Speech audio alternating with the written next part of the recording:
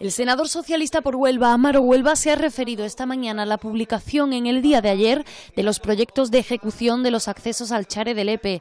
Huelva ha asegurado que no son claros y que se han realizado a prisa y corriendo para tapar la boca al Partido Socialista. Que sea algo hecho solo y exclusivamente para ganar tiempo.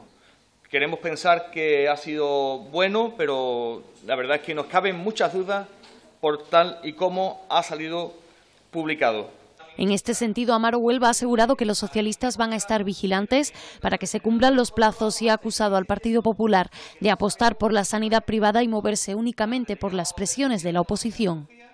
Se muevan solo a reacción de las presiones que hacemos desde el Partido Socialista, desde los parlamentarios andaluces, desde los diputados en el Congreso o desde los senadores.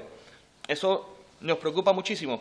Además, el senador socialista ha feado al Partido Popular y a Podemos que no se hayan acordado de los regantes del condado en el Congreso y por ello los socialistas han pedido la comparecencia de la ministra de Agricultura para preguntarle por qué no se hace ya el trasvase. Por último, los socialistas van a pedir también la comparecencia de Cospedal para que dé explicaciones sobre qué va a hacer con el proyecto CEUS.